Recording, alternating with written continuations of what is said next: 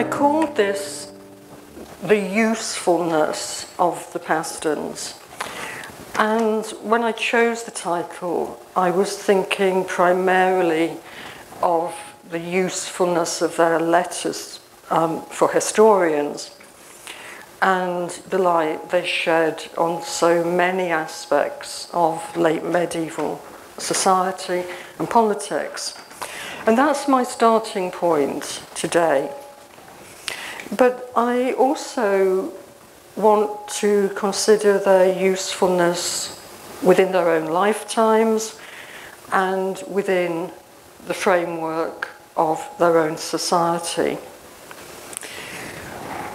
What gives the letters their unique value? And they are, as we've just heard, recognised to be the best of the 15th century collections is the unusually high proportion between the Pastons themselves, which lets us see family dynamics and relationships playing out in real time. They write, in many cases, for pleasure, easily and fluently. And at the risk of sounding a bit twee, um, we can hear their speech patterns.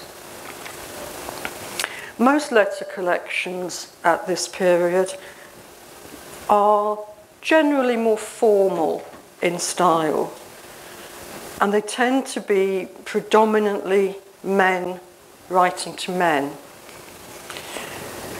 We hear much more from the Paston women than is usual in letter collections. And it's Margaret, the wife of John I, who is almost certainly the inspiration behind the gathering together of those letters.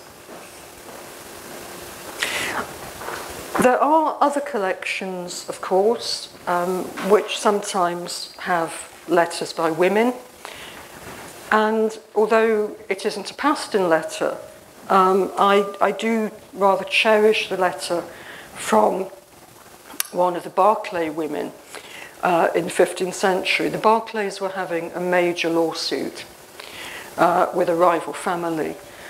And the wife of the male Berkeley had gone to London to deal with the legal process there, taking her daughter with her. And she writes back to her husband to report um, success with the closing remark that he must not negotiate with the people um, in Worcestershire, but wait until she gets back, and then all things will be well, she said.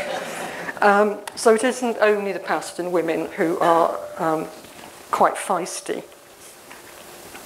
Of course, when I talk about women writing letters um, in this period, almost without exception, they are not writing them. I mean, they're not penning them. They have an amanuensis. And in some ways, I think we can find this slightly disconcerting. Two of the most famous Paston letters are those written by Marjorie Brews. And they're love letters to John Paston III, the second of, of William's sons with that name. It is clearly her voice that we are hearing. I don't want to spend all my time uh, reading letters to you. It's terribly tempting um, and as some of you know, um, in the past I have run weekend courses at Madingley Hall of seven lectures of one and a half hours each on the Pastons and have been able to wallow in, in sharing these letters. But I do want, I, there are one or two I, I want to quote to you today, not an hour and a half's worth. Um, the Paston family had got as far as agreeing that the John Marjorie Paston marriage would be a good one. And then Marjorie's father cut up rough. He wasn't prepared to give as much money or much landed endowment to accompany the marriage as the Pastons wanted. And so the Pastons um, were calling a halt on the marriage. And Marjorie Brews writes to John 3 in February. Right reverent and worshipful, and my right well beloved Valentine. Ladies, note that right reverent and worshipful is the way to address your bloke. I recommend me unto you full heartily, desiring to hear of your welfare, which I beseech Almighty God long for to preserve unto his pleasure and your heart's desire. And if it please you to hear of my welfare, I am not in good health of body or of heart, nor shall be until I hear from you. My lady, my mother, has laboured the matter to my father full diligently, but she can no more get than you know of, for the which God knoweth I am full sorry. But if that you love me, as I trust verily that you do, you will not leave me therefore for if that you had not half the livelihood that you have, for to do the greatest labour that any woman alive might, I would not forsake you. Now, that is actually penned by one of her father's servants. It is, I'm sure it is her voice, um, but she is not writing it, which to our way of thinking with a letter of such intimacy um, seems quite strange.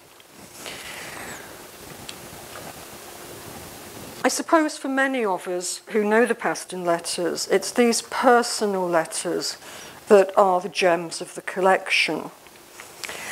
And as with that one from Marjorie, they do have or can have a real emotional value.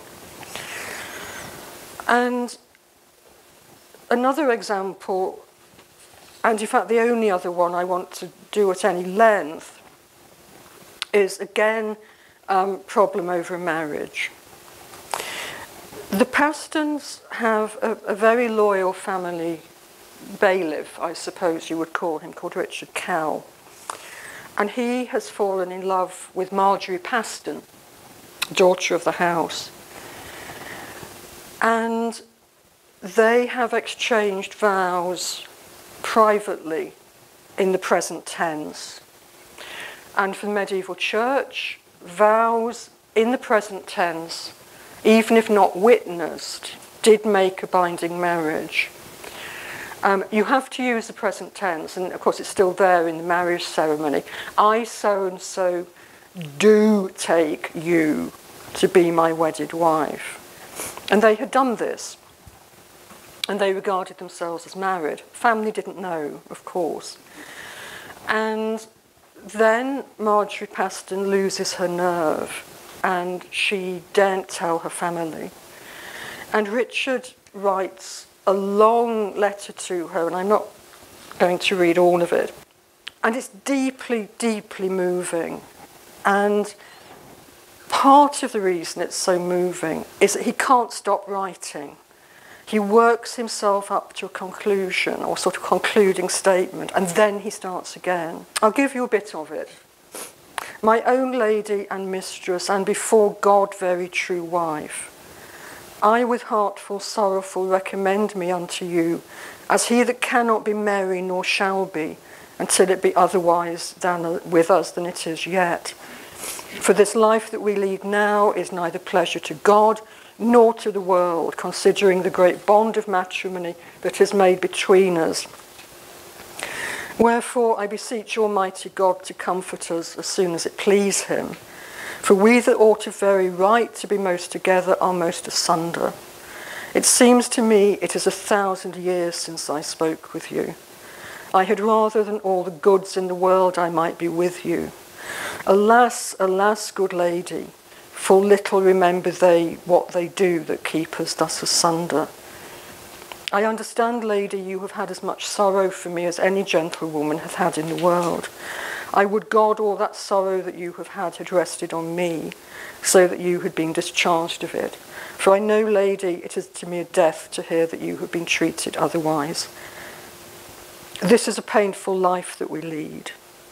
I suppose if you tell them seriously the truth, they will not damn their souls for us. Therefore, though I tell them the truth, they will not believe me. And so it, so it continues. It's the, it's the Warren Paston letter that really makes you feel a voyeur when you're reading it. Um, the ending is a, a, a, sort of happy one. Um, Marjorie does tell her, her mother about it. And mum and grandmother, William's widow, whiz Marjorie off before the Bishop of Norwich um, for him to hear the case and um, decide whether it does make, make a marriage.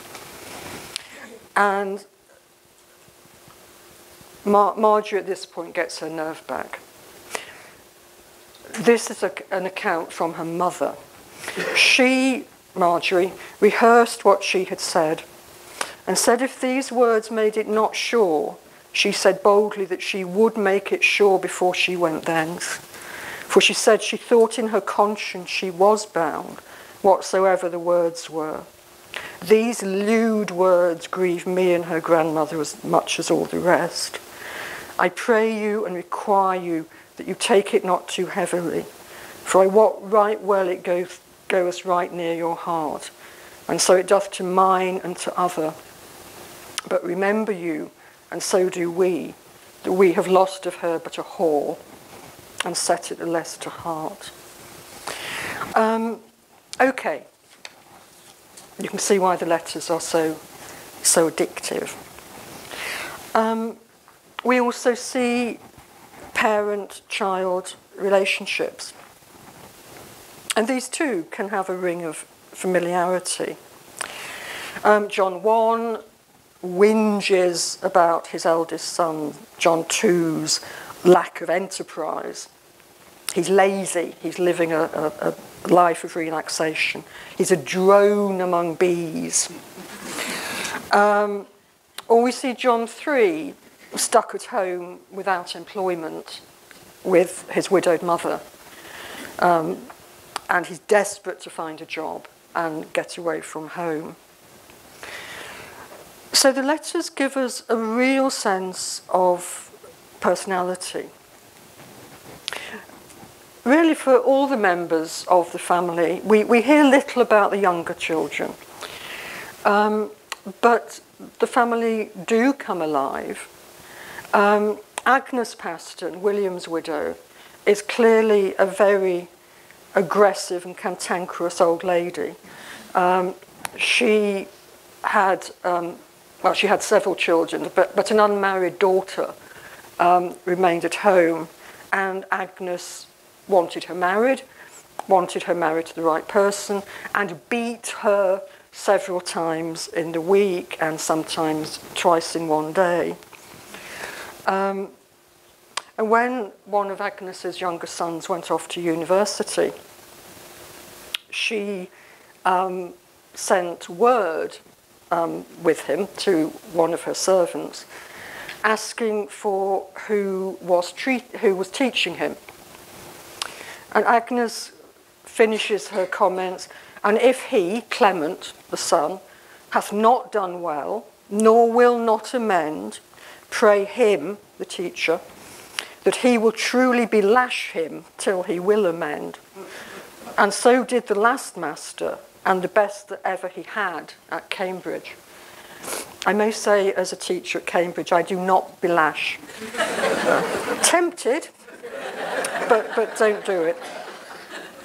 Whereas Margaret Paston, um, William Wan's wife, sorry, no, John Wan's wife, um, also writes a letter when one of her younger sons goes off to university, Oxford in this case, And what she writes about it is that he may be set in good and sad rule, so he may be under good governance. But she goes on, For I will loath to lose him, for I trust to have more joy of him than I have of them that be older. And also I pray you write a letter in my name to Walter, so that he do well, learn well, and be of good rule and disposition. There shall nothing fail him that I may help with, so that it be necessary to him. So those two women, uh, mother-in-law, daughter-in-law, are, are chalk and cheese. I think reading the letters, we often feel a, a, a jolt of recognition. Although I am um, a bit resistant to the idea that medieval people are just like us, really. Um, in, in many ways, they're not. Um, but now and again, um, you see um, a shared interest. The letters also shed light on contemporary politics. They span the period of the Wars of the Roses, and many of the key protagonists in those wars crop up. Um, often sending commands, um, or simply being the subject of news reports uh, by one of the families. The most vivid and detailed account of a particular political episode is the account of the murder of William de la Pole, uh, Duke of Suffolk. De la Pole was uh, deeply unpopular in, in many circles. And in late, 40, late 1449, early 1450, um, Parliament ruled against him and demanded that he be sent into exile. And on his way into exile, he was, his boat was intercepted and he was murdered. And his body was thrown on Dover Sands for later collection. Now, the Paston account of this is one of the most um, vivid that we have. And the tone of it is actually quite interesting. The account begins I am right sorry of that, I shall say, and have so washed this little bill with sorrowful tears that you shall scarcely read it. And you think, well, mm, can we take that at face value? We get this very horrible description of the death. And then the letter concludes um, What shall be done further, I wot not, but thus far it is. If the process be erroneous, let his counsel reverse it. Which is cryptic, but I think the drift of it is a rather gloating, let Suffolk get out of this one, um, which casts doubt on, on the sorrowful tears. Now, in many ways, the Pastons tend to be on the edge of the big events of the Wars of the Roses. They're good observers, um, but they're not necessarily up to their ears in it. John II fought for the Lancastrians at Barnet. And that may be something to do with the dispute over the Fastolf inheritance. John III was summoned by the Duke of Norfolk, John Howard, to fight at Bosworth. But it's not clear whether he did. Um, we know the Norfolk retinue went to Bosworth, um, because Norfolk himself was killed in the battle. But John III made his way to Tudors really quite quickly. And Richard III clearly had problems getting his troops out at Bosworth. Um, as I say, Howard himself fought and was killed. We don't know about John. On the whole, as I've implied, the Pastons made their way in local politics, local politics rather than national. And it was those local connections which made them useful to others. And this goes to my second theme.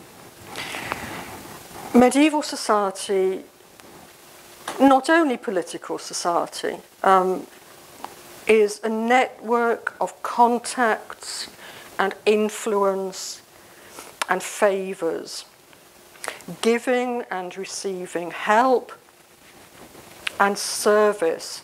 Now, when I talk about service, I'm not using it in a, in a menial sense. Um, serving a master um, is an honourable thing to do. Or to put it another and perhaps more honest way, this network of contacts is a matter of granting and cashing in favours. You do something to help somebody, they ask you to do something, you do it, they owe you. Um, so the Pastons are in the thick of, of this. William, who is the effective founder of the family's position, was legally trained, as we've heard, and he ended up as a judge. Now, this is a very legalistic age with apparently endless disputes over the possession of property. Um, medieval land law is an absolute can of worms. And of course, who benefits from that? Lawyers. Um, Colin Richmond, in, in his three volume book on the pastants, pointed out that one of the things Judge William specialised in, I, I'm exaggerating a bit, and Colin exaggerated a bit. Judge William specialised in helping widows who were trying to keep a grip on the land that they were entitled to. And Judge William was very good at this, and he often won um, the case. I mean, he's acting as lawyer here, not judge. Um, and the price of that was for the widows to make him his their heir at law. So he got the land in the end for himself. Um, John I is also sent to study at the Inns of Court. He never formally practiced law, but he advised people about it. And he became the man of business of Sir John Fastolf. John I later claimed, as, as we've already heard, that Fastolf bequeathed him his land on his deathbed, and endless disputes ensued. John too doesn't become a lawyer. He tries his luck at the royal court, at the king's court. And initially, it's a complete disaster. And one of his uncles um, writes to John I, John II's father, to say that John II is not making his mark at court and when he sits at the dining table in the household, the royal household, the servers do not serve him. And you sort of envisage this poor chap sitting at the end of a very, very long table with servers just walking past him and not putting anything in front of him. Um, he clearly perseveres because uh, in the later 60s, early 1470s, he is um, visibly in, in the royal circle. Um, and he has friends in high places. He's a bit of a playboy. Um, Paston letters include a number of rather enthusiastic um, claims by John II about assorted women. And he does indeed have a, an illegitimate child. He never marries. He has friends in high places, though, and the royal court was, in many ways, the place to see and be seen. John 2, John 3, sorry. Talking John 1, John 2, and John 3 is a nightmare. In, incidentally, um, there have been various discussions of why, um, in the Middle Ages and possibly later, um, children of the same generation were given the same first name. Because, I mean, it is very odd. In the 19, 1970s, when psychohistory was, I know it sounds like Hitchcock, but it means writing history with, with psychology in mind. Um, two explanations were offered, both of which I think were twaddle. Um, one is that it was in case one of them died and you wanted one of them to have a name. Um, the, the other one, equally unlikely, is that parents weren't really bothered by their children anyway, so what did it matter? Um, I mean that. I mean, in the 1970s, there were historians, predominantly US historians, who were saying with absolutely straight faces that parental affection was a discovery of the 18th century, and that before that, parents were quite capable of not knowing who their children were and forgetting them. It's potty. Um, I, I, think, I think the real solution um, is that the, the usual tendency is that the godparent of the same generation, as same gender as the child, named it.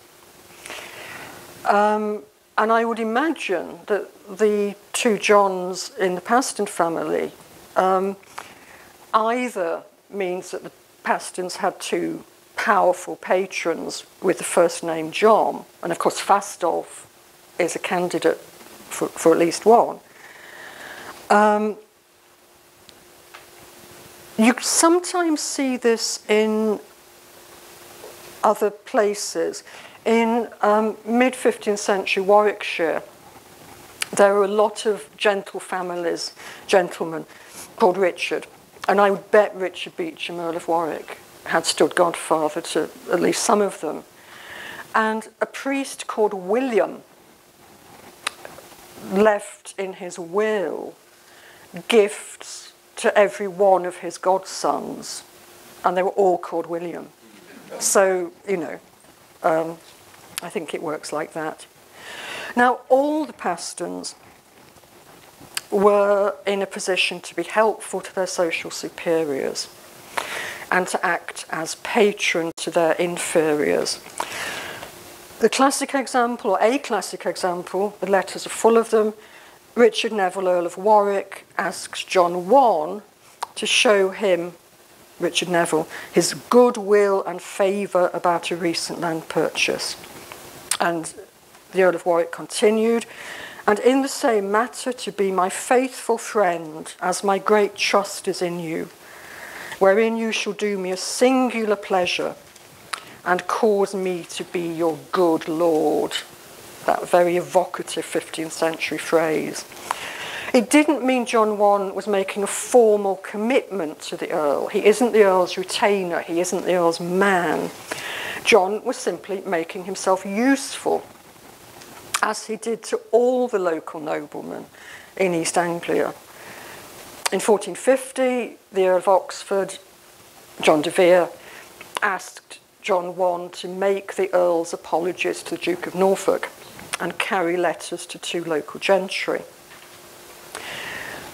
In the eyes of the nobility, in the letters of the nobility, John I was their right, trusty, and well beloved friend.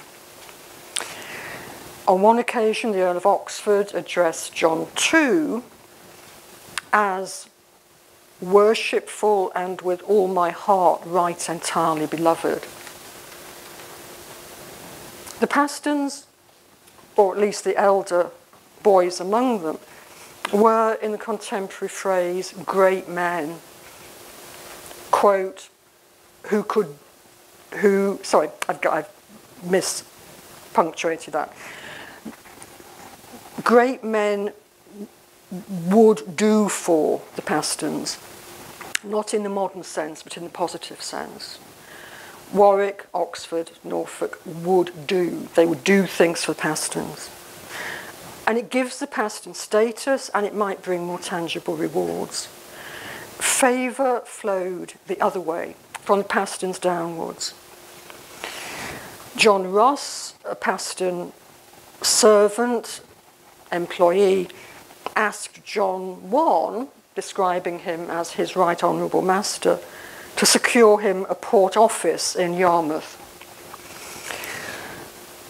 He, Russe, offered to give John's son five marks yearly if Russe got it.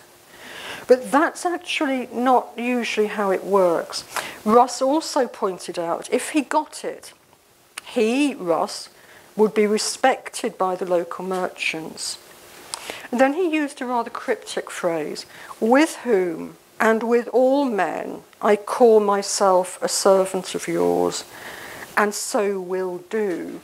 And I think Russell's implication is that because John could get him that office, it has enhanced John's status.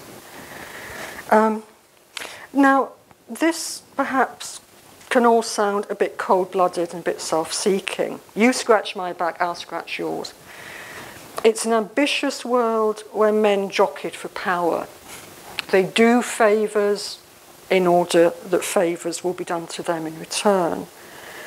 And it's certainly a world where men were, and women probably, were obsessed by what we would call face. They don't want to lose face. They would call it worship. Worship is respect. It's standing well with people. And you don't want to lose it. But it's also a vulnerable world. Fortune's wheel is turning quite wildly in the Wars of the Roses. And being useful, having friends, and having good lords mattered. Thank you very much.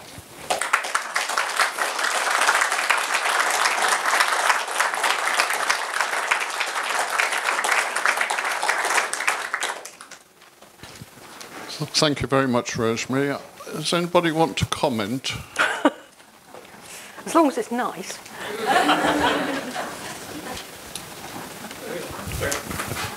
There's, there's, there's hang on, hang on. We have Mr. Boone first. We've had a long dialogue here. Um, interesting, your. Is it working? Um, we, uh, you mentioned Bosworth and John. John 2 and 3 fought at Barnet for Lancaster. John 3 was wounded? Yes. Yeah. Um, if the um, summons from Norfolk would be obeyed, John would then probably unwillingly fought for Richard. But there's no evidence. But John 3 fought for Henry VII at Stoke. So is the likelihood then that he avoided Bosworth because his Lancastrian sympathies remained. Did everybody hear the question? Good. Um, yes, I mean, that, that, that is perfectly likely. Um, we, we can't really see closely who turned up at Bosworth. I mean, the, the people who die there and the people who are attainted for their part in it, we can see. The letters recruiting for Bosworth. Um, well, sorry, let me start out again. Um, letters recruiting soldiers for use against the opposition to Richard went out very early. But the actual order to get them into the field went out very late.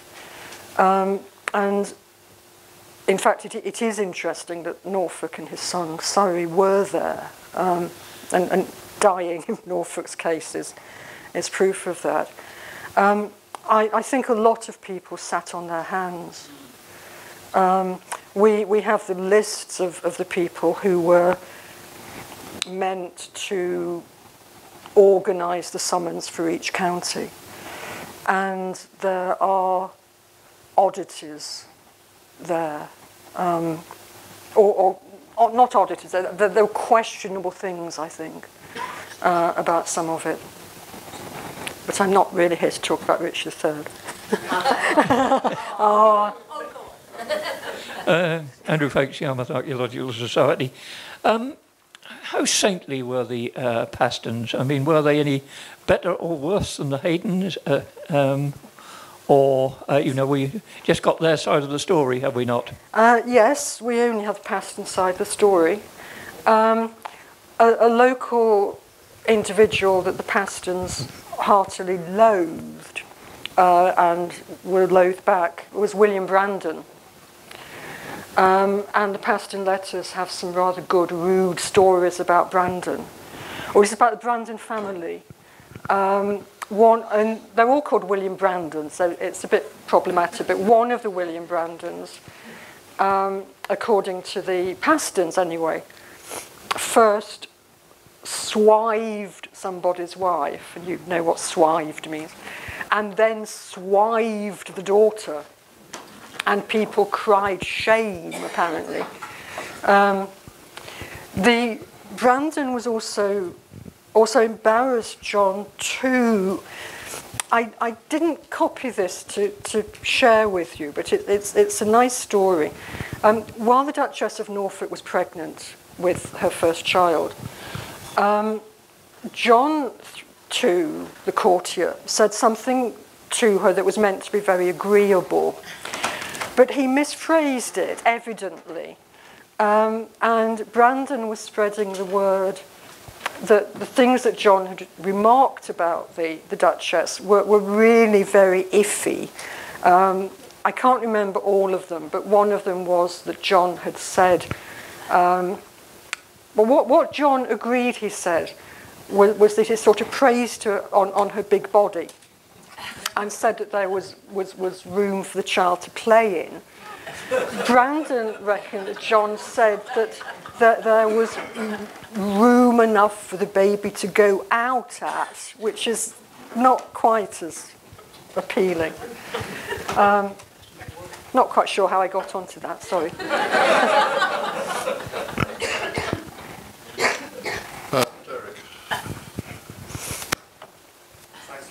Um, congratulations on a wonderful talk. I really enjoyed it.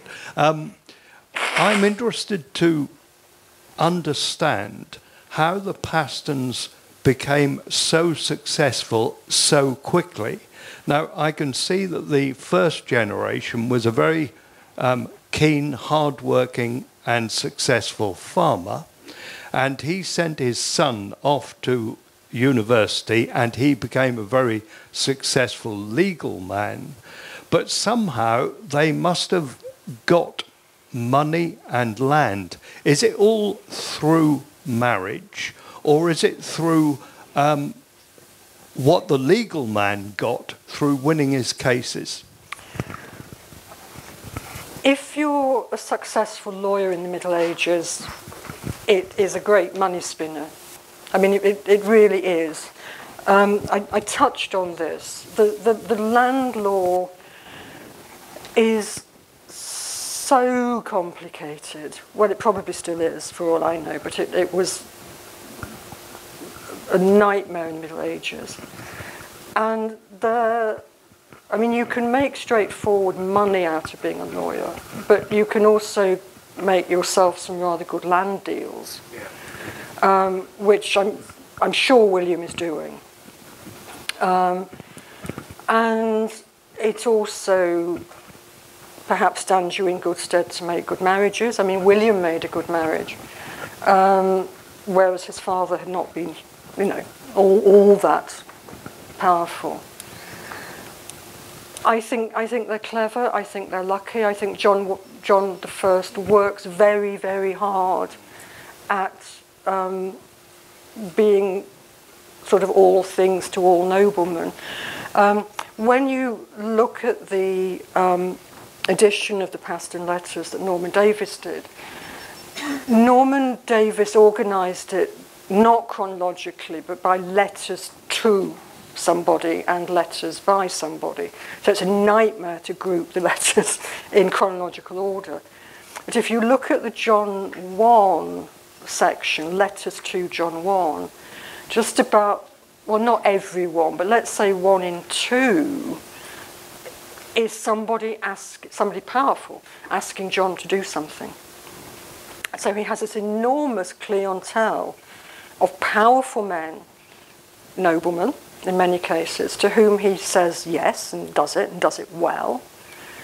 And it, that is so important. I mean, even if they don't reward him in sort of hard land, hard money, knowledge that, I mean, that phrase in, at the end of my talk that I stumbled over, knowing that he is someone that powerful men will do for, is just worth lots of money and land.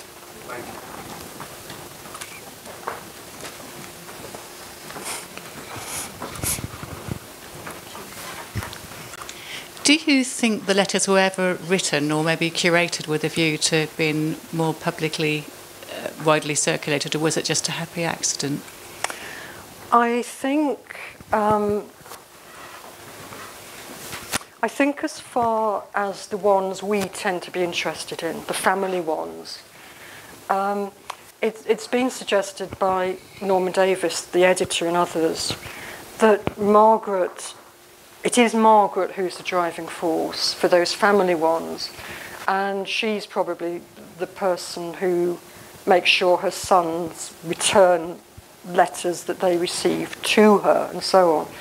Because the, the collection really starts petering out after Margaret dies. It goes on a bit longer, but that's moving into rather more conventional, quasi political, quasi business letters. So Margaret has a big part in it. Um, and I imagine that we've sort of all known mothers like that who save up the family letters. But a, a lot of the letters which are often regarded as less interesting are kept for legal reasons. I mean, they're, they're evidence of stages in a law case or something like that.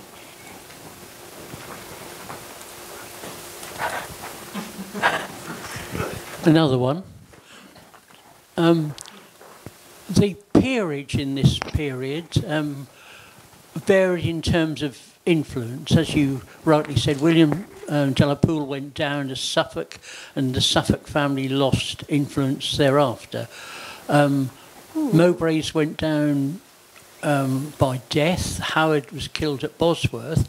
Henry VII then chose to trust the peerage less after he had to execute Stanley. I don't think he ever trusted them to start with, well, actually. But, but do, do you think that John III was being one sort of step down gained importance in that scenario because Yarmouth really lobbied him like fury to oh, get yes. to the king. Yes, I'm, I'm sure that's right. And in many ways, even if we're talking about nobility losing national influence, they very rarely lose local influence. I mean, if you've got a, a nobleman on your doorstep, unless he's just been accused of treason, he's worth, worth lobbying. There's a question here. That one. Oh, Anne. I wanted to ask what sort of people were employed in their families to actually, the, the people that they dictated their letters to? Um, predominantly it's an interesting question. I, I could fudge the answer a bit by saying they're predominantly clerks, because clerk, of course, has two senses. It can be a, a priest, it can be a cleric, or it can be somebody, you know, who is active in administration and can write letters. Um, so I think it, it's probably I mean, again, this word servant is tricky because we then start thinking about, you know, waiting maids and things. Um, but a well educated man, able to read and write, doing sort of even perhaps secretarial work, as we would say, in the household, is the obvious person to, to go for. Um, because I mean, what, what's often forgotten about medieval writing, apart from people who've tried to do it, is, is that using a quill pen is an absolute nightmare. Um, calligraphers still use quill pens because it, they can produce brilliant, brilliant um, results. But for a, an ordinary person who doesn't write all that much, a quill is a very difficult way to, to do it. Um, and a lot of medieval handwriting is absolutely atrocious. Um, so I think, you know, we, we, we tend to think reading and writing go together, but they just didn't in that period. And sort of a clerical training, uh, university training, would at least make sure that you could write tidily, and also that you had some idea of what you were talking about when, when you wrote. Any more? Yep. Um, may I ask, when the Bishop of Norwich was approached, what was his decision on the marriage? Oh, it was valid. That, that, that, that's why um, Margaret and Agnes go off the deep end. Um, no, you, you're quite right to query that because it's left implicit.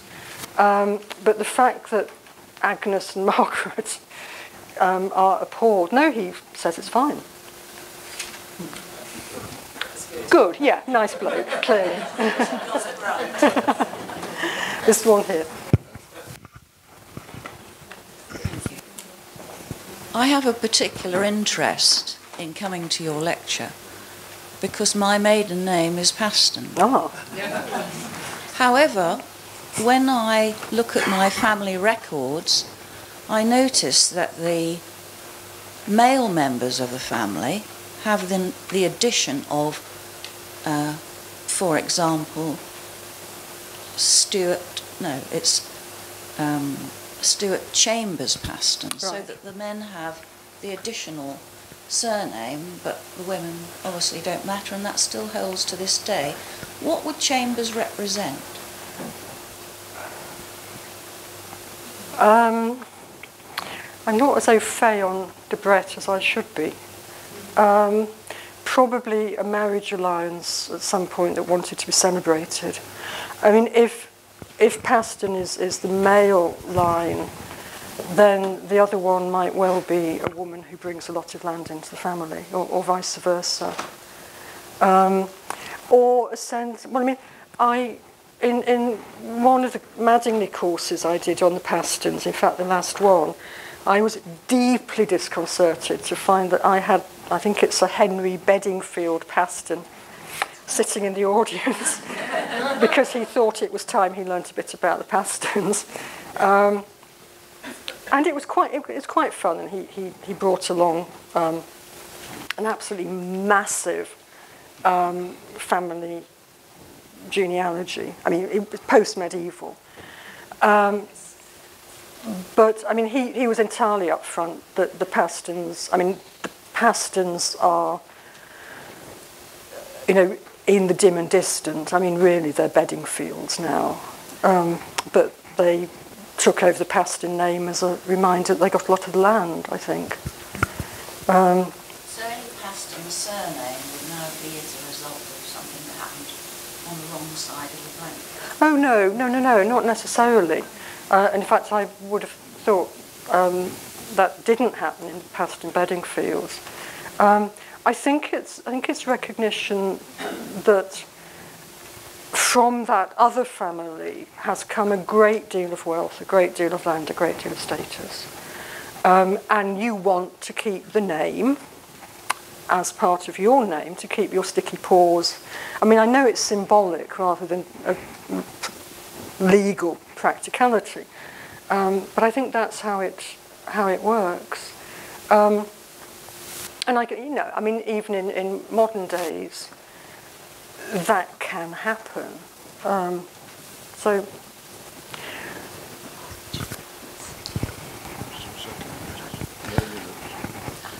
Hello, can I just make a point about the Paston Bedingfeld? Yeah, oh yes, I'm link? sorry. Yes, it is, Um, I know. It was 1826 that Margaret Paston married Sir Henry. Uh, they're all called Sir Henry, or whatever. And um, she brought a huge amount of wealth. And um, from my experience at Oxburgh Hall, um, I've realised that this was the case.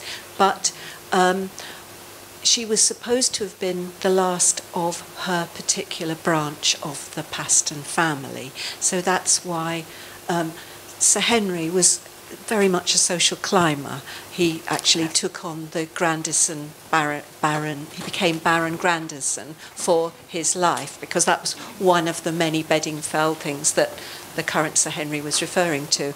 And um, we just felt that that was that was why it became it was from the Paston because of all the money which elevated the family, the Bedingfeld family. Yes, and it, it, And it helps. Um, I mean, I, I didn't say this myself, but you did. I mean, it, it helps if the f- surname you've just chosen has actually died out in, in a significant sense. Okay. Um, yeah, hang on. Would you suggest then that the continuation of the Paston name might well have been because some of the women of the Paston family married men who agreed to change their name to Paston? No. No, no. Um, n- not at that early stage. I, th- I think Matt has the last question. I get the last one. Um, obviously, the Pastons are the Paston letters are a fantastic resource, and you've spent a long time studying them in you know absolute detail. And um, the the letters obviously give a hint of the characters of the Pastons themselves. So, final question before we break for refreshment: Do you like the Um, nobody could like Agnes. Agnes, Agnes is a cow. Um, um, I think it is a good question. Um, Colin Richmond, of, of whom I'm very fond and who is an expert on the Pastons, um, his favourite is John 2, which I found slightly odd. And I, I think John 2 sound, well, I don't like playboys. So I, and John 2 sounds like a playboy. That's I- you I- out, I- isn't it? um, I, I like John 3. He, he seems to me a, a good thing. Um, Margery Paston, I respect for, you know, sticking out and, and marrying Calle. Um, Margaret, Margaret can turn a bit nasty. I mean, I, I, what she says about her daughter when her daughter marries Calle is, is just horrible. Um, but, and, and she also, hmm, there, there, there are times, I mean, John, John 3 had trouble with her because she, she, in her widowhood, she got very sort of dependent on her chaplain, James Gloys, and things like that. Um, but I, I think if I, if I had to pick one of the blokes, it would be John 3.